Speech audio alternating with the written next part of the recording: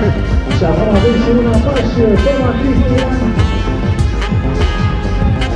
Sobre a 8 de Constantino, a 3 do futuro.